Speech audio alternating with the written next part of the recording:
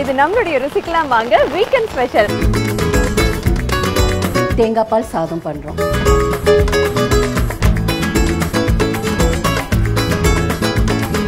ஃபிஷ்ஷில் வந்து கோலா உருண்டை பண்ணுறது எப்படி அப்படின்னு சொல்லிட்டு பார்த்தோம் சூப்பரா இருக்கு. சிறுநீரக தொற்று இருக்கா?